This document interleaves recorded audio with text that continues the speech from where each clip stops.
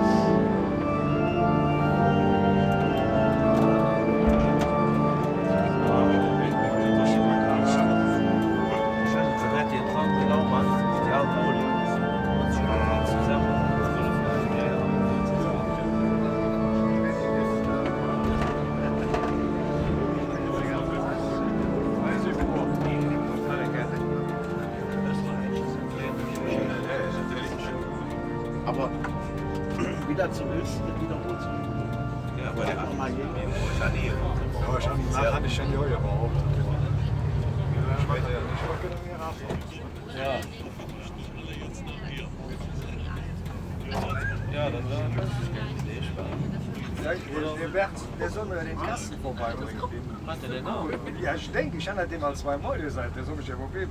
Ich, ich sehe schon den Container liegen. Oder, oder der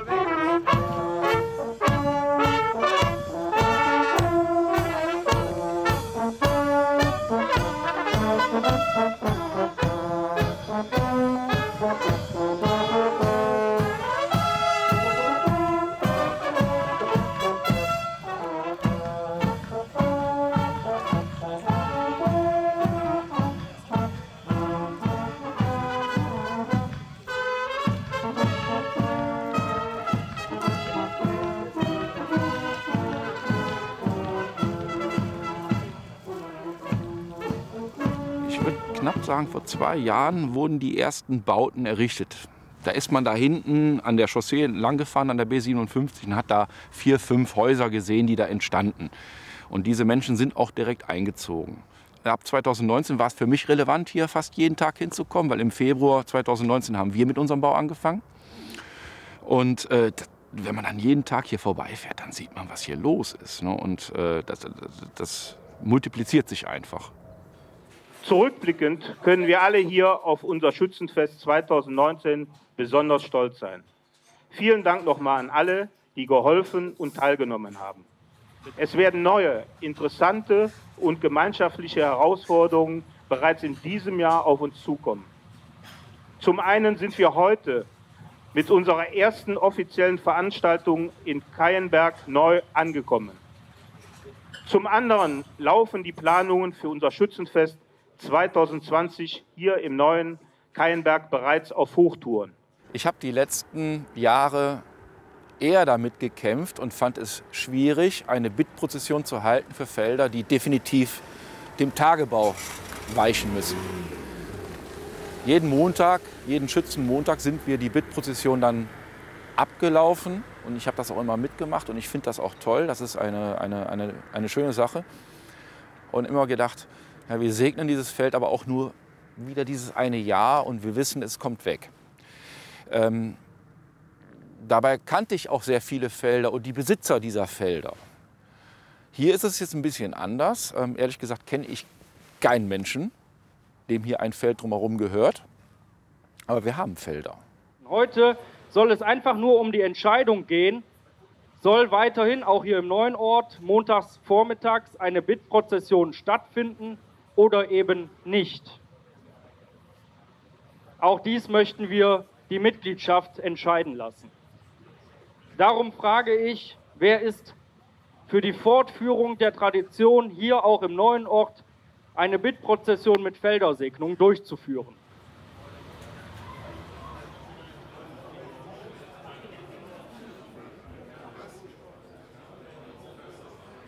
Mir ist es persönlich wurscht, welchen, welche Felder wir segnen, von wem sie sind. Hauptsache wir segnen das, was drumherum ist, weil es ernährt uns alle. Und ähm, ich habe dafür gestimmt, dass die Bittprozession weitergeht. Und äh, ja, die meisten Stimmen waren mit dafür. Das sind, das sind 13 Stimmen. Vielen Dank. Wer ist dagegen? Wer enthält sich? Die Enthaltungen schließen sich immer der Mehrheit, schließt sich immer der Mehrheit an. Wir haben 13 Ja-Stimmen und 8 Gegenstimmen. Das heißt, die Bittprozession wird in alter Tradition weiter fortgeführt.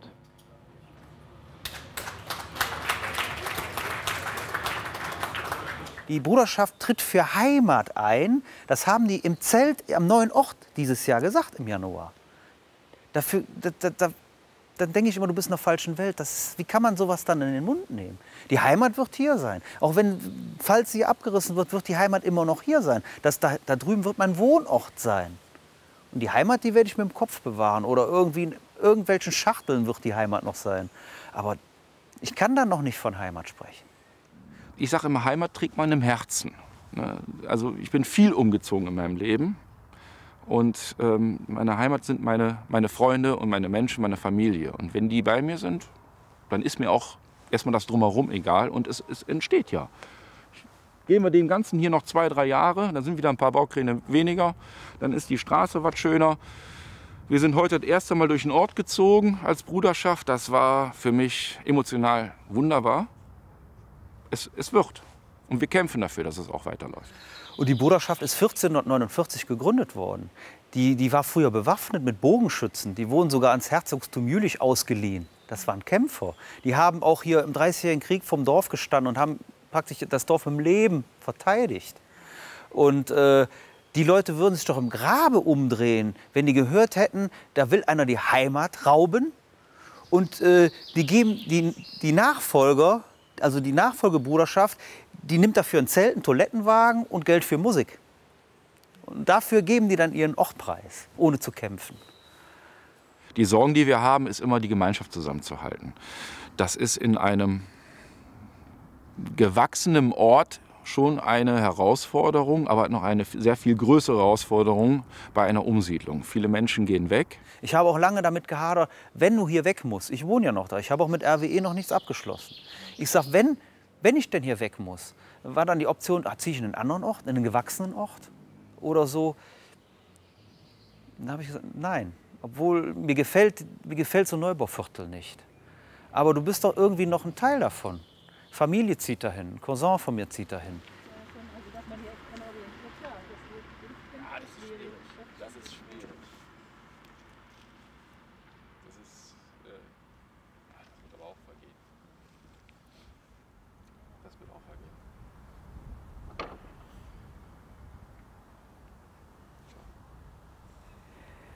Wir haben uns frühzeitig als Vorstand entschieden, wir machen die Umsiedlung als Bruderschaft mit und wir nehmen diesen Aspekt, diesen Bestandteil unserer alten Heimat mit rüber in das neue Dorf.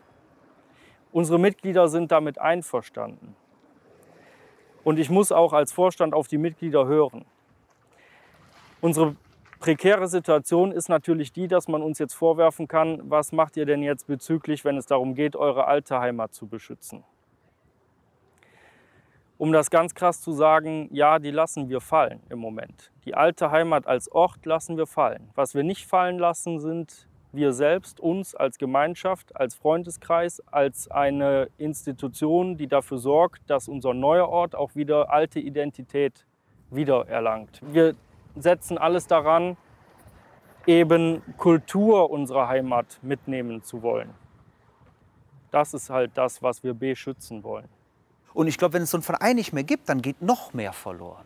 Das ist dann praktisch auch, auch so eine Art, äh, die Geschichte zu bewahren. Das, das ist so ein Widerspruch. Ist ja, wenn, man, wenn man schon alles aufgegeben hat, ist das auch wieder irgendwie die Chance, dass nicht alles verloren geht.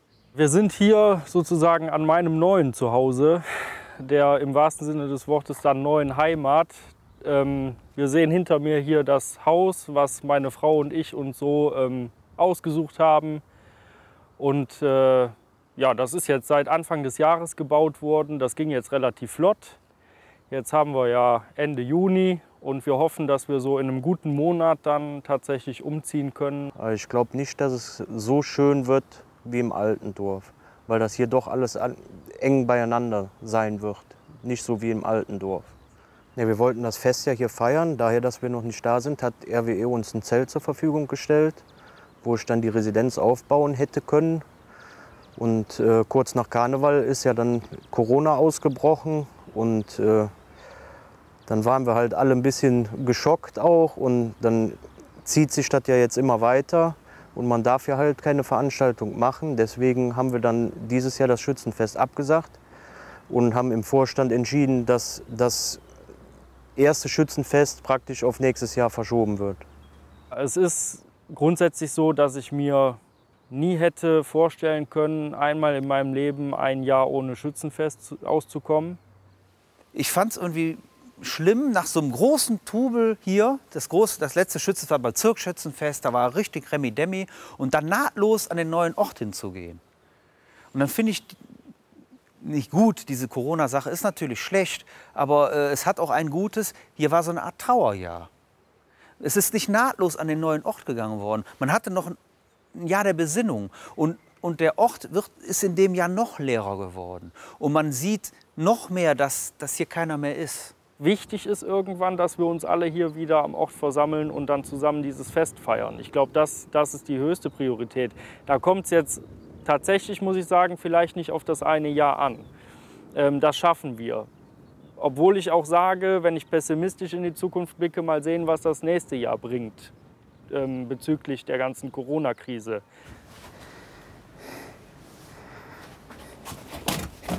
Geh mal an die Seite.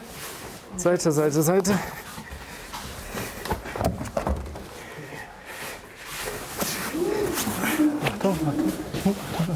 Und daneben.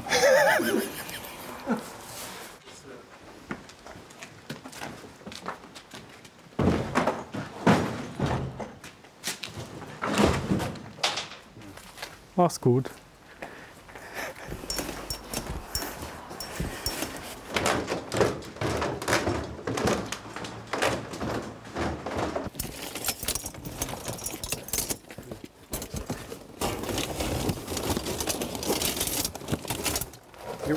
Wunderbar. Oh. Okay.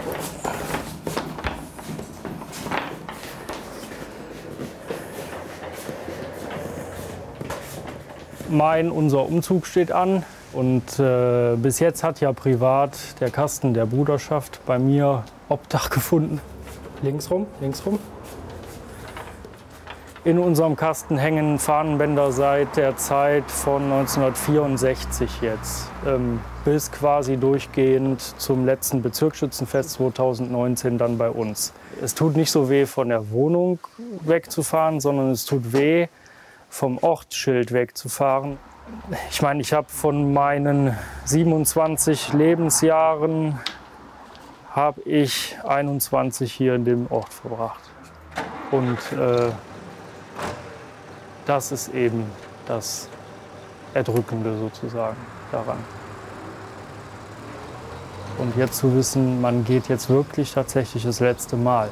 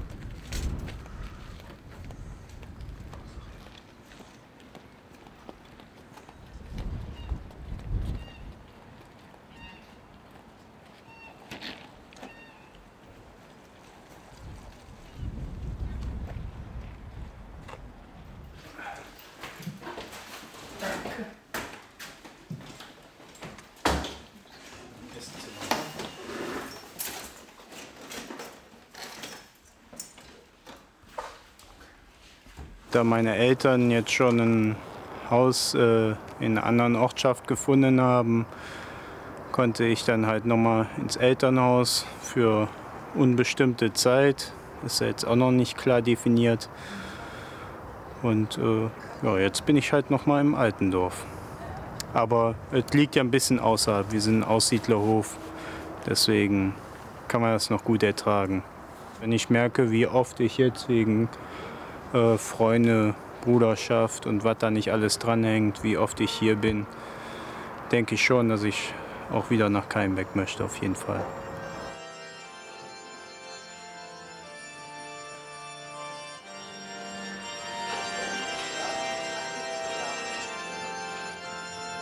Der Palmsonntag ist jetzt bezüglich Grundsteinlegung nicht explizit so ausgewählt worden, weil es der Palmsonntag ist. Palmsonntag erinnert ja an den Einzug Jesu in Jerusalem und ähm, der Tag, der eigentlich, wenn jetzt keine Pandemie wäre, sowieso mit Prozessionen in Verbindung steht, weil man ja sich an einem Dorfkreuz normalerweise getroffen hat in Keinberg, dort die Palmensegnung stattfand und man dann in die Kirche ging gemeinsam.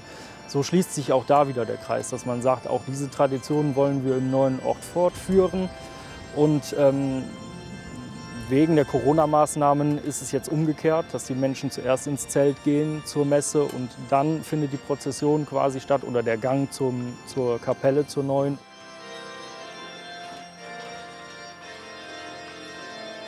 Ja, nach der langen Zeit der Pandemie und der Zeit, wo nichts wirklich möglich war und auch eigentlich immer noch ist, ähm, Gottesdienste dürfen ja weiterhin stattfinden, ist das mal einfach eine Möglichkeit und Form, wo wir ein positives Zeichen hier endlich mal setzen können am neuen Ort.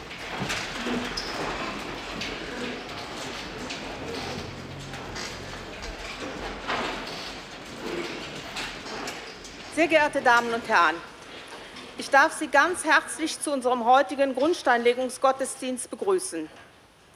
Die Filialgemeinde Heiligkreuz-Keinberg mit der Kapellengemeinde Berverath und die Filialgemeinde Herz Jesu Kuckum haben, wie ganz viele Umsiedler, den Blick nach vorne gerichtet und die kirchlichen Immobilien in den Altorten veräußert, um hier am neuen Standort ein Kapellengebäude mit Gemeindezentrum zu errichten.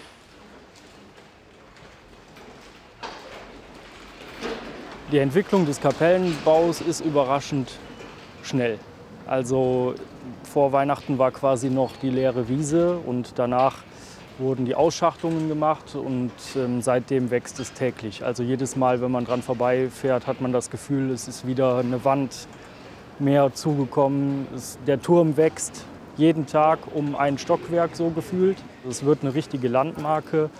Ähm, ich achte schon immer, wenn ich jetzt auf den neuen Ort zufahre, darauf, wie hoch der Kran so ist, weil mir gesagt wurde, der Turm wird sogar noch ein bisschen höher als der Kran, der neben der Kirche steht. Und das ist dann schon ein schönes Gefühl, dass man weiß, ach ja, das ist so ein bisschen, ähm, wenn man demnächst auch auf den neuen Ort zufährt, hat man die Kirche direkt im Blick. Das ist ein schönes Gefühl dann doch.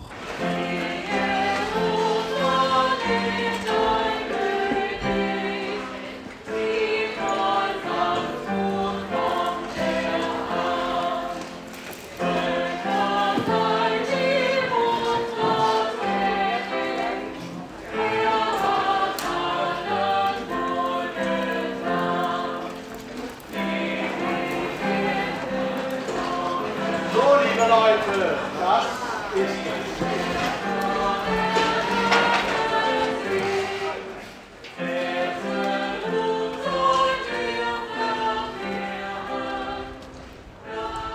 Frau Maybaum sagte gerade eben, das ist schon ein eigenartiges Gefühl, wenn man etwas irgendwo hinträgt, was unter Umständen Menschen in 1000 oder 2000 Jahren nochmal öffnen, um nachzugucken, wer war denn damals so da alles beteiligt. Wir bitten dich, segne diese Grundsteinurkunde, damit sie heute und in der kommenden Zeit daran erinnere, in welchem zeitlichen Zusammenhang hier in Keienberg, Kuckum, Westrich und Berverath neu der Grundstein für ein neues Gotteshaus mit Begegnungszentrum gelegt wird. Dir vertrauen wir unser Denken und Tun an. Dir sei Lob und Dank durch Christus, unseren Herrn. Amen. Jetzt brauchen wir noch ein bisschen Weihwasser. Frau Maibaum. Ja, ich bin gewappnet. Ich hoffe einfach, dass die Menschen gar nicht so viel darüber nachdenken heute, was passiert mit der alten Kirche, sondern eher darauf gucken, hier entsteht was Neues und das wollen wir heute feiern. Und nicht darüber nachdenken, welche offenen Fragen noch alle so im Raum stehen. Da kann man sich zu einem späteren Zeitpunkt an einem runden Tisch noch mal mit den richtigen Personen treffen und dann muss diskutiert werden. Es ist immer ein Hin und Her zwischen alt und neu im Moment und äh, durch die politischen Unsicherheiten ist man selbst auch immer wieder hin und her gerissen und unsicher. Und ähm, es ist sehr schwierig im Moment auch Abschied zu nehmen. Noch mehr. Ja. Das reicht erstmal. Wenn es darum geht, dass der Architekt sagt, ähm, wir brauchen die Glocken. Und ähm, hier im Ort viele sagen, ja, und wir wollen die Glocken wieder am neuen Ort, wir wollen unsere Glocken hören. Ja, das ist echt schwierig jetzt zu sagen und auch wenn keine Entwidmung da ist, gehen wir an den Turm und reißen die Glocken raus. Es wird wahrscheinlich darauf hinauslaufen, ganz klar. Ich gehe zum, zum Pastor. Ihr passt auf. Genau. Sie schon. So. So. So. Nicht hier alles raus.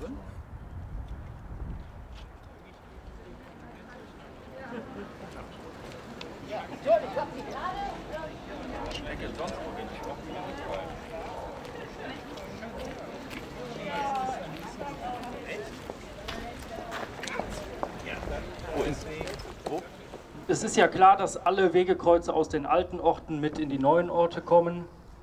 Aber trotzdem habe ich gedacht, hier fehlt etwas. Jetzt schon. Das ist die Gelegenheit, das erste Wegekreuz im neuen Ort aufzubauen, mal losgelöst von den alten. Es ist ja nun mal auch was Neues hier und auch da wird vielleicht eine Tradition fortgeführt, weil diese Wegekreuze früher immer von Privatpersonen gestiftet wurden sozusagen. Und ähm, auch wenn Schützenfest ist, werde ich das Kreuz so dekorieren, wie es jetzt heute dekoriert ist, um einfach auch nochmal die Verbindung von Bruderschaft zum Glauben, zur Kirche darzustellen und zu sagen, ähm, wir sind nicht nur der Zelt-Feierverein, sondern auch äh, da steckt auch was Ernstes hinter und eine Botschaft. So kommt hier auch wieder Dorfcharakter in die neuen Orte. Und ich bin auch dankbar, dass wir dieses Kreuz heute einsegnen dürfen und hoffe, dass es vielen Menschen Trost und Kraft spendet, wenn sie hier vorbeikommen. Wir beten für die Menschen, die unter der Last des Lebens zu, zu zerbrechen drohen. Wir bitten dich, erhöre uns. Wir beten für die Menschen, die heute und in Zukunft vor diesem Kreuz stehen und beten. Wir bitten dich, erhöre uns. Im zweiten Jahr werde ich ungeduldiger und sage, jetzt ist die Zeit des Innehaltens auch mal gut und die Geduld ist langsam vorbei. Und trotzdem sind uns ja für ein normales Schützenfest weiterhin die Hände gebunden. Es ist einfach so, das geht uns alle an. Das ist zum Wohle unserer Sicherheit und zum Schutz für alle, vor allen Dingen, weil wir ja auch einige ältere Mitglieder haben. Das können wir einfach nicht verantworten, da irgendetwas zu machen.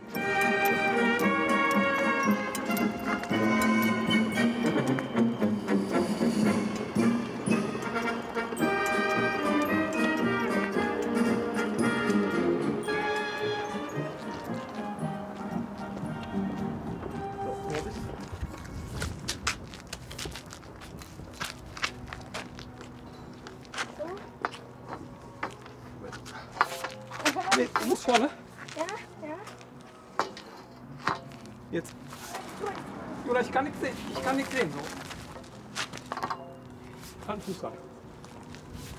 So, jetzt.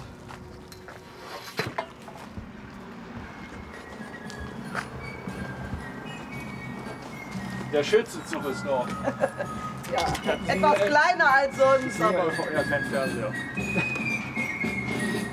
Der ist doch nicht kleiner wie sonst. Alles Wichtige dabei. Musik und der Vorstand. und Bier.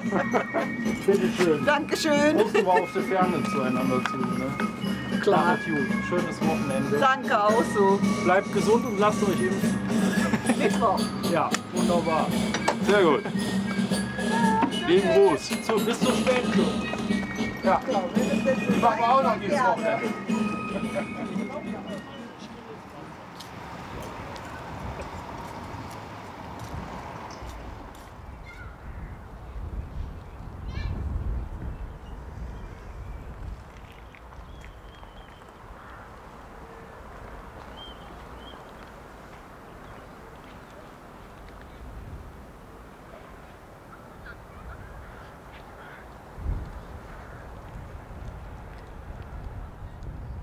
Ja, wir fühlen uns hier wohl, ist okay, aber man merkt es schon, hier ist immer ziemlich windig, hier steht noch kein Baum, äh, ist halt schon anders in so einem Neubaugebiet und hier wird ja auch noch einiges gebaut. Ähm, ja, ja. Also Heimat ist es nicht, aber zu Hause, ja. Aber so ein Zeichen setzen, finde ich, ist in der jetzigen Zeit, ja, sollte man schon machen. Ne? Und wer keine Fahne hat, dafür hat die Bruderschaft äh, blau-weiße Bänder äh, in jeden Briefkasten geschmissen, damit da ähm, so ein kleines Zeichen gesetzt werden kann. Ähm, ja, um einfach die Gemeinschaft zu zeigen, dass, dass sie nicht ganz verloren geht, auch wenn das trotz Umsiedlung und dann noch Corona obendrauf die ganze Sache äh, doppelt erschwert hat. Ne? Und das muss sich erst wieder aufbauen. Ne? Ich denke mal, im nächsten Jahr wird es in irgendeiner Art und Weise möglich sein. Wie auch, nicht wie früher, das glaube ich auch, das wird so schnell nicht passieren. Aber in irgendeiner Art und Weise wird bestimmt ein Zusammenkommen dann möglich sein. Wir feiern ja Gottesdienste miteinander und das, was fehlt, ist das Gesellige, das Miteinander. Und dann laden wir dazu ein, alle Mitglieder aber auf Distanz aus der Ferne miteinander anzustoßen und ja, aneinander zu denken einfach an diesem Wochenende. Musikkapelle geht nicht, ist einfach die Corona-Regel. Ne? Ein, ein Haushalt und ein, einer dazu. Deswegen waren Alex und ich allein unterwegs mit meinem Sohn als Musikvereinsmitglied.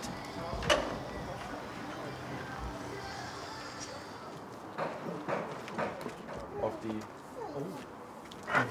Max? Max?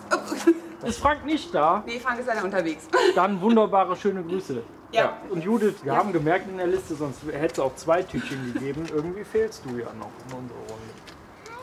Ich bin aber Mitglied in der Bruderschaft. So. Also, bitte. Da guckt man nicht nach, da packt man die Tüte. Post von euch.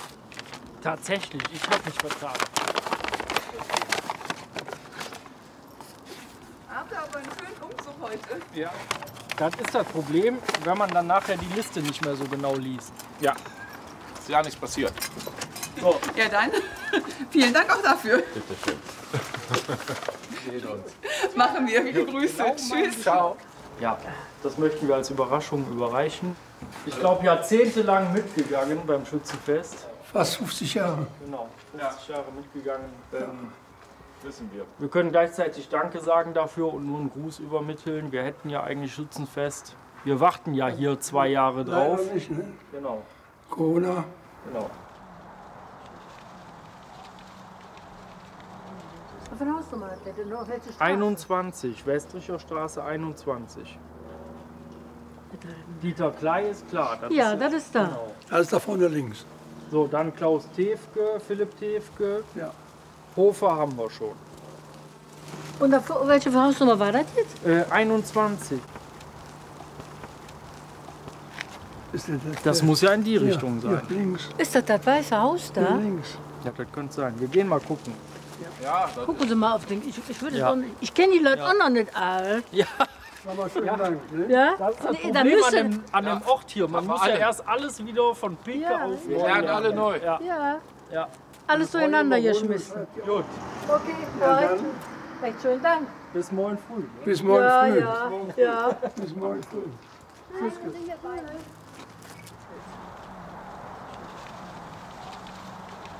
Das ist heute sehr, sehr gut angekommen. Und deswegen haben wir auch, äh, ja, ich glaube, sechs Stunden gebraucht, um hier 101 Haushalt zu bedienen.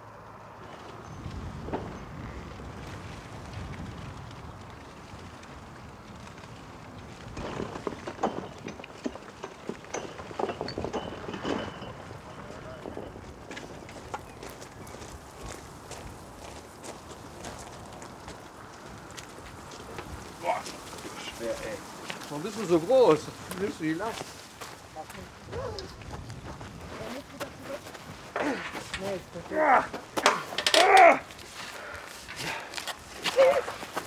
Das wäre ohne Mühle nie gegangen. Der Wind kommt eh von da. Hi, der Witzka. Ah, ist gerade fertig. Ah, gerade ist anders.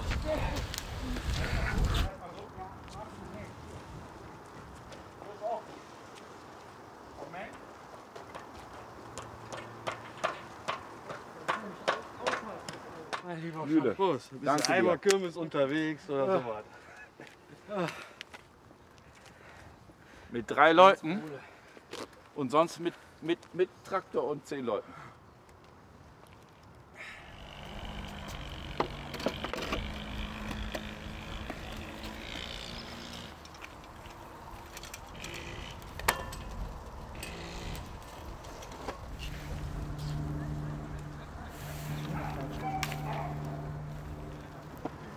Versuchen alles in den Spätsommer zu schieben jetzt. Normalerweise ein Tag und wenn wir geöffnet werden und wir dürfen das, werden wir es auf zwei Tage erhöhen und wir werden das alles irgendwie nachholen. Die Leiter noch? So, fertig aus. Mickey Maus. Ich glaube, da kommt man nicht dran. Nee, so ist schon gut. Ja. So ist Ja.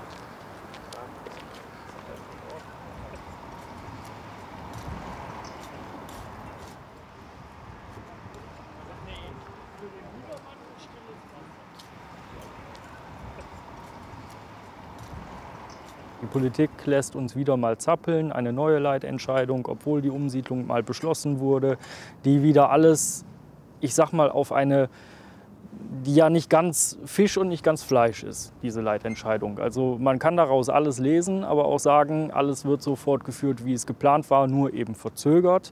Äh, Es ist nämlich dann also jetzt so, dass gesagt wird, ja, die Orte müssen weg, also die Kohle wird gebraucht, aber wir können uns Zeit lassen bis 2026 und das dann noch mal neu prüfen. Was da ausgeht am Ende, wir wissen es nicht. Also ähm, ich hätte vor zehn Jahren hätte ich ein paar Sachen gewettet, da hätte ich echt Geld drauf gewettet. Heutzutage würde ich keinen Euro mehr drauf wetten, was da kommt. Alle vier Jahre oder zwei Jahre wird irgendwas umgeschoben. Die Gesamtsituation ist natürlich so ein bisschen äh, komisch, weil der Pinkwart hat wohl am Freitag gesagt, die Dörfer müssen nicht weg. Ist jetzt für alle, die jetzt umgezogen sind, äh, auf Deutsch gesagt eine echt beschissene Situation.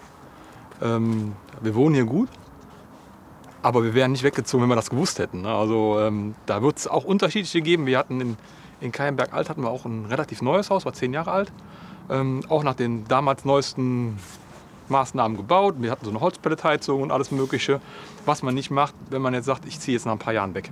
Also wir hatten schon immer die Hoffnung gehabt, aber gut, dann haben wir uns entschlossen, für ihn war der Schulwechsel nach Erkelenz zur weiterführenden Schule. Das ist so der Zeitpunkt, wie wir dann umziehen müssten. Wenn das jetzt wirklich so kommen sollte, also jedes Mal, wenn wir an dem alten Haus vorbeifahren, ist das schon mit sehr viel Wehmut verbunden. Viele Fragen kommen auf. Also Fragen, wie habe ich das alles jetzt umsonst gemacht? Hätte ich bleiben können? Was passiert mit meinem Elternhaus, wenn es stehen bleiben kann? Halte ich das aus? Will ich das überhaupt? Wie komme ich mit dem Gedanken klar irgendwann, dass vielleicht mal für mich fremde Menschen dort einziehen? Und das geht an die Nerven. Das geht einfach an die Substanz. Letztendlich muss Energiegewinnung stattfinden. Und wir haben unser Haus aus diesem Paragraphen verkauft. Und wir werden sehen, was am Ende stattfindet. Und ich denke, dass 80 Prozent der Bevölkerung, die umgezogen sind, es nicht gerne sehen, wenn das Haus stehen bleibt und da werden Leute wohnen. Weil wir freiwillig verkauft haben wir es nicht. Im Prinzip ist das alte Haus abgeschlossen, ist an RWE verkauft und äh, ist mir letzte Nacht eingefallen, äh, eigentlich müsstest du mal wieder eine Nacht im Haus übernachten und morgens das Fenster aufmachen um drei, vier Uhr, die Vögel singen hören aus dem Garten, weil hier im neuen Ort, da hört man nichts. Und äh, das äh, vermisse ich natürlich, weil ich das früher oft gemacht habe. Ne? Ja, da könnte man vielleicht noch was machen, noch mehr Bepflanzung im Ort, damit es ein bisschen schneller geht, weil allzu viel ist ja noch nicht hier. dass das mein, mein Anker ist, also praktisch da, wo ich geboren bin. Das ist, das ist ja praktisch mein, da habe ich immer gewohnt und das ist mein Dorf und das bedeutet mir immer noch sehr viel. Und ähm, ja, Man ist ja praktisch gezwungen, das zu verlassen. Aber ich würde mich freuen, wenn, wenn der Ort bleiben würde. Wenn denn der Ort stehen bleibt, wenn er die Chance dazu hätte äh, und die Möglichkeit bestände, dass äh, RWE das äh, zulässt, dass man die Häuser zurückkauft, da würde ich äh, das in Erwägung ziehen, nochmal dahin zurückzuziehen. Obwohl äh, es sind ja nicht mehr allzu viele Leute dort und äh, wenn dann die Häuser tatsächlich an Fremdbewohner verkauft würden, wären wir ja ziemlich alleine da ohne die vielen Bekannten.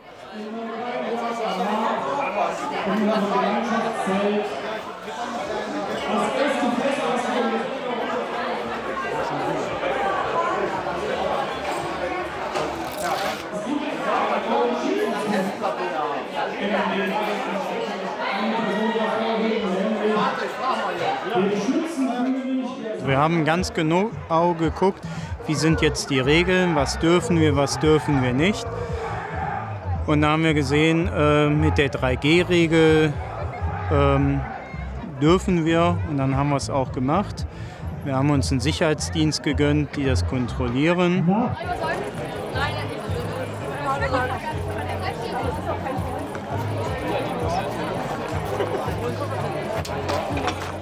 Herr, wir bitten dich, segne jetzt diesen Vogelschuss. Segne einen fairen Wettkampf und beschere uns Majestäten für das kommende Schützenfestjahr. Darum bitten wir dich durch Jesus Christus, unseren Freund, Bruder und Herrn. Amen. Und so segne uns alle der gute und dreieine Gott, der Vater und der Sohn und der Heilige Geist. Amen. Ja, wir dürfen nach langer Zeit, nach der Corona-Zeit, jetzt das erste Fest wieder hier richtig feiern. Ähm, ja, wir haben damals gesagt Spätkirmes, wir haben es jetzt umbenannt, wir nennen es jetzt Bruderschaftsfest.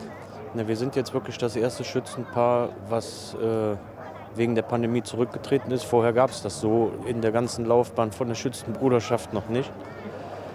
Aber das ist leider für uns wirklich unmöglich, das nächstes Jahr zu machen. Mit dem Hausbau sind wir nämlich dran. Dann äh, von der Arbeit her technisch geht das gar nicht. Da mussten wir schweren Herzens dann sagen, wir geben das Amt ab. So, jetzt musst du mich noch mal sagen. Also, müsst hier durch das kleine Loch schauen. Das ist wirklich klein. Aber da siehst du unwahrscheinlich viel durch. Und da muss jeder durch den Ring schauen. Erst, erst durch das Loch gucken, dann durch den Ring. Und mit dem Ring musst du vorne den Vogel analysieren.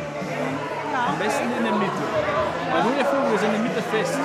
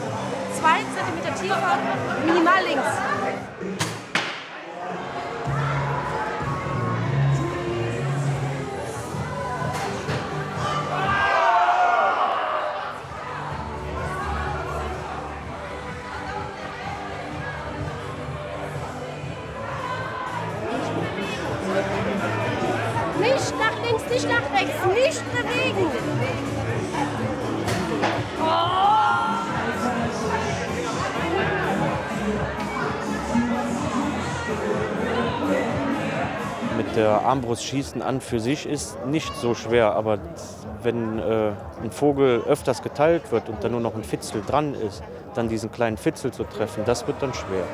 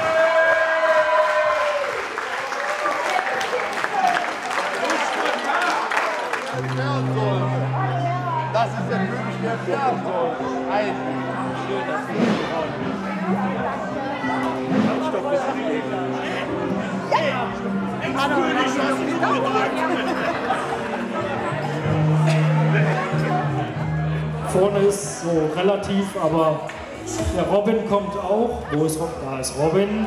So. Noch amtierender König, neue Königin.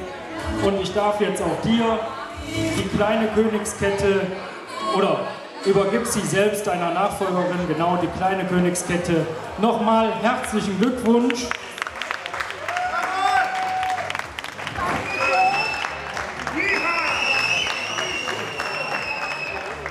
Und Lena hatten wir bereits hochleben lassen. Ich lassen wir jetzt nochmal hochleben. Unsere neue Schützenkönigin, sie geht hoch zum ersten Mal. Zum zweiten Mal. Also Schützenfest, äh, klar, König ist jetzt ausgeschossen. Amtierender Kö König bin ich äh, trotzdem noch bis nächstes Jahr, bis zur Krönungsmesse. Das ist an der Jahreshauptversammlung. In der Krönungsmesse wird dann die Kette dann an den neuen König übergeben. Und dann äh, wäre für mich das Amt dann auch vorbei. Die äh, Gudrun Hühnermann, die hatte äh, den Vogel jetzt abgeschossen. Die sind auch seit ungefähr einem Jahr wohnen die schon im neuen Dorf. Dann ist das für die natürlich auch äh, besser realisierbar, das hier am neuen Standort zu machen. In der Bruderschaft bin ich nicht. Mein Mann ist in der Bruderschaft und ich bin eigentlich auch nicht mit der Ambition hierher gekommen, heute um Schützenkönigin zu werden. Das war einfach so ja, aus der Laune raus. Und ich hoffe, dass das einfach dann auch äh, den Zusammenhalt ein bisschen wieder fördert. Dass also äh, viele irgendwo wieder einen Sinn da drin sehen, überhaupt was mit der Bruderschaft zu machen. Weil auch viele da sind, die ganz einfach sagen, ja, ist nicht mehr unser Dorf und wie sollen wir denn? Doch, ich denke mal, das ist eine Aufgabe, einfach zu sagen, so, das läuft hier weiter. Wir sind immer noch Keimberg.